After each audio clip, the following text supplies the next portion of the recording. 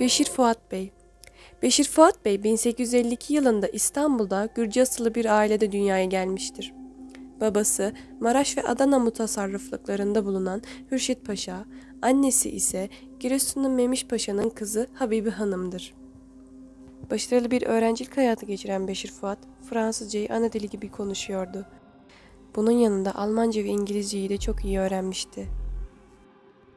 Osmanlı fikir hayatının önemli isimlerinden biri olan Beşir Fuat, tarihçiler tarafından ilk Osmanlı pozitifisti olarak da kabul edilirdi. Çok geniş alanlarda yazabilen Beşir Fuat, Türkçe'de Voltaire ve Victor Hugo hakkında ilk biyografileri de yazdı. İlk evliliğini genç yaşta halayı ile yaptı. Mehmet Cemil adında bir oğlu oldu. Kısa süre sonra boşanıp saray doktoru Kadri Paşa'nın oğlu Salih Paşa'nın kızı Şaziye Hanım'la evlendi ve bu evlilikten de Namık Kemal, Mehmet Selim adında iki oğlu daha oldu. Ama Namık Kemal sadece bir buçuk yaşındayken 1885 yılında Kızılcık hastalığına yakalanarak öldü. Beşir Fuat daha bu acıyı üzerinden atamazken annesi 1886 yılında paranoyadan dolayı hayatını kaybetti. Üstüne üstlük hastalığın genetik olabileceği düşüncesiyle delireceğim korkusuna kapıldı. Bu olaylardan sonra her şeyi unutabilmek için kendini zevke ve eğlenceye verdi. Hatta Fransız bir metresten Feride adında bir çocuğu oldu. Bir süre sonra maddi sıkıntıların da baş göstermesiyle birlikte 5 Şubat 1887 günü Çağaoğlu yokuşu 12 numaralı evde bileklerini ve boynunu keserek intihar etti. Ama bu sıradan bir intihar vakası değildi. Uzun süre düşünülmüş ve planlanmış bir intihardı.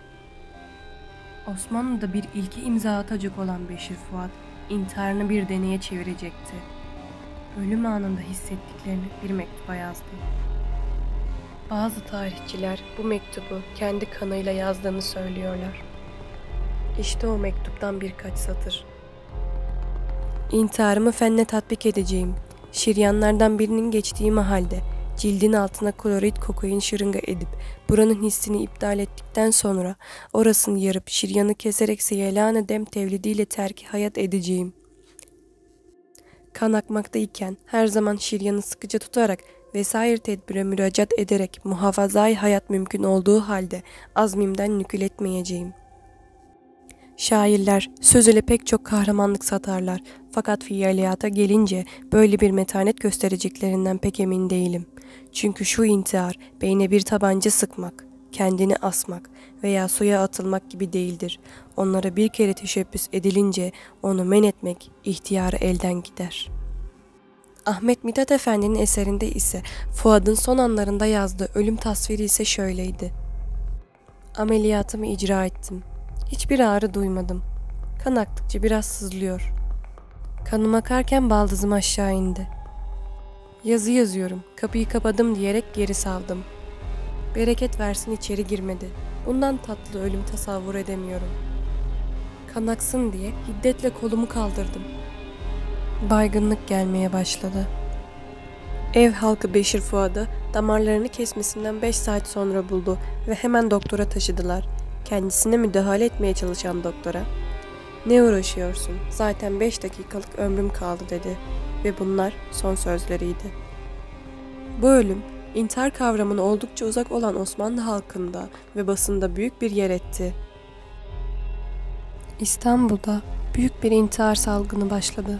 İntiharları azaltabilmek için eczanelerdeki ağır kesicelerin yasaklanmasından, okuldaki din derslerinin arttırılmasına kadar birçok önlem alındı. Ama yine de gün geçtikçe intihar haberleri gelmeye devam ediyor. Dönemin hükümdarı olan Abdülhamit bu olaylara bir el atarak gazetelerde intihar ile ilgili herhangi bir şey yazılmasını yasakladı. Ve bu yasak uzun süre devam etti. Beşir Fuad'ın yazdığı ölüm mektubu ise beklediği kadar ilim dünyasında ses getirmedi. Ve vasiyetinin aksine cesedi kadavra olarak kullanılmayarak Eyüp'e defnedildi. Peki sizin bu intihar hakkında düşünceleriniz nelerdir? Yorumlarda belirtmeyi unutmayın. Sonraki videolarda görüşmek üzere.